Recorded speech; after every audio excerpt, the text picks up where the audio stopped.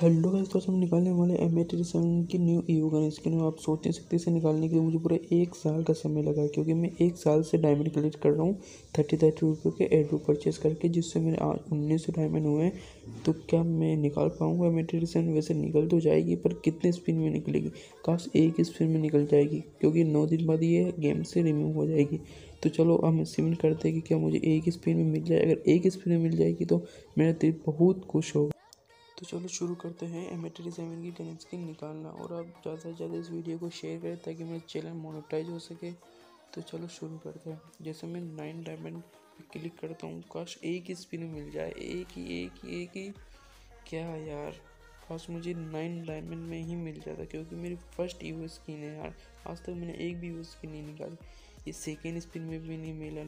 लगता है मुझे एलियन वाली स्पिन में ही मिलेगी, जिस तरह हर प्लेयर को मिलती है यार। ऐसा तो बहुत बुरा होगा मेरे साथ क्यों मेरे कितने नौ सौ डायमंड्स खर्च हो जाएँगे इस स्किन की पीछे प्लीज़ मिल जाना।